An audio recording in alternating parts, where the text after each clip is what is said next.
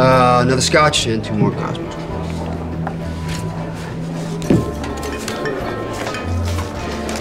No way you're drinking that. You know, give my friend here a uh, Highland single malt, straight up. He's had a rough day.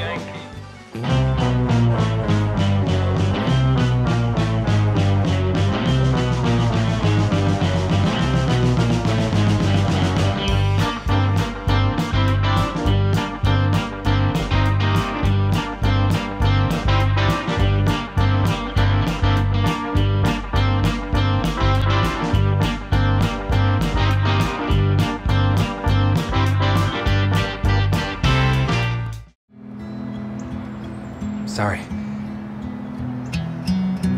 Guess it was a bad idea. Greg.